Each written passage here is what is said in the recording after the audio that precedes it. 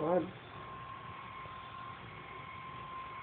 still have a lot of Pokies over here. Well, not as much, but there's also some up, up here, right there. Want me to raise your hair? No.